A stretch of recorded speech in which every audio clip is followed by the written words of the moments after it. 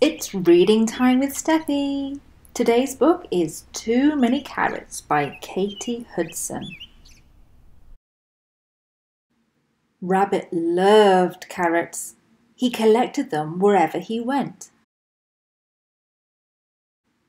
Rabbit was proud of his collection and burrowed it away in his cosy hole. But Rabbit had a problem. A big problem. He couldn't sleep. His cosy hole was too crowded to live in. I need a place to sleep, Rabbit told Tortoise. You could share my house, Tortoise offered. It looks cozy and snug, Rabbit said. Maybe it's a little too snug for two, suggested Tortoise. Not at all, said Rabbit. Uh oh, uh oh, oh dear, out, out! Crash. Oh dear. Well, hmm, perhaps we can stay in Bird's nest, said Rabbit.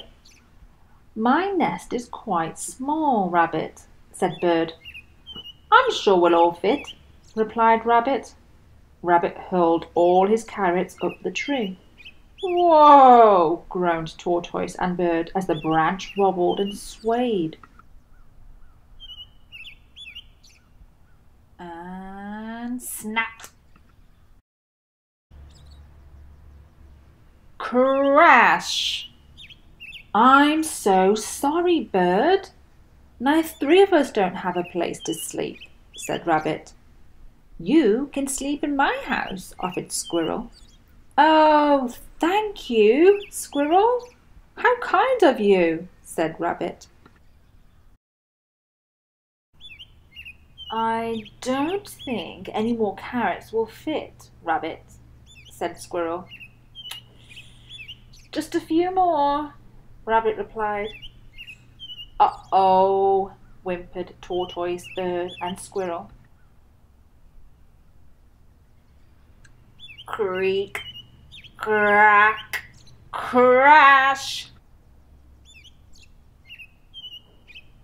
Now four of us don't have anywhere to sleep, grumbled Squirrel.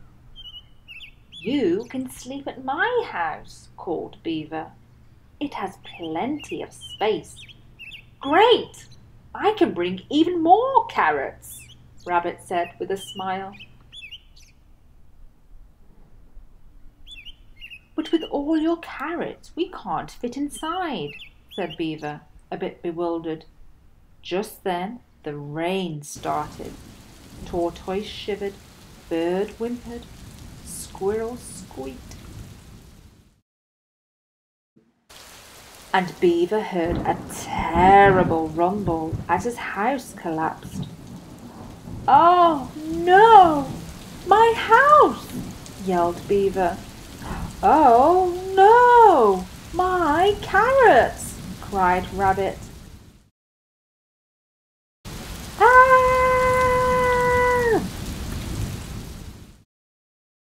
Crash! The friends groaned as they swept up onto the riverbank. Rabbit felt terrible. His friends were cold, tired, and homeless and it was all his fault. Even worse, Rabbit still had all of his carrots and his house. And that's when he realized there was only one thing to do.